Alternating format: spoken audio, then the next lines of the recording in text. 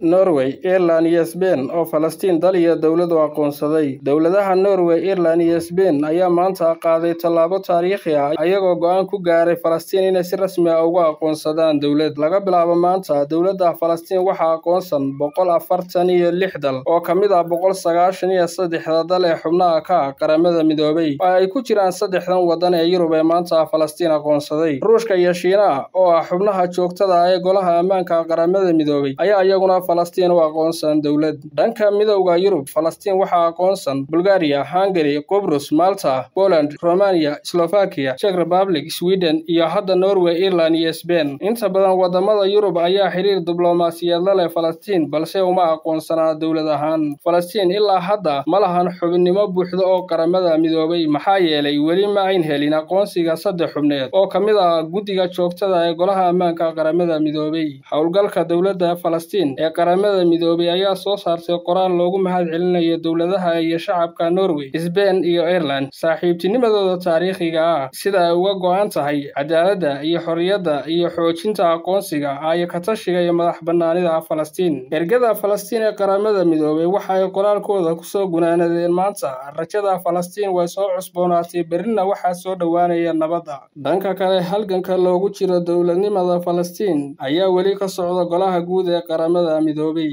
iyadoo dhowaan la filayo in codqaad xubinimo buuxda uu ka dhaco Golaha Guud ee Qaramada Midoobay ee loo dhan yahay.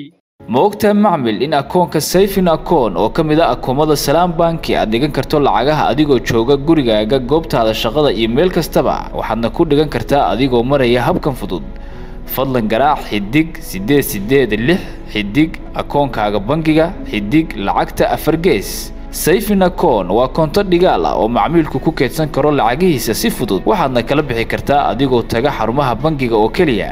Ku keydso lacagahaaga koontada dhigaal ee bangiga salaam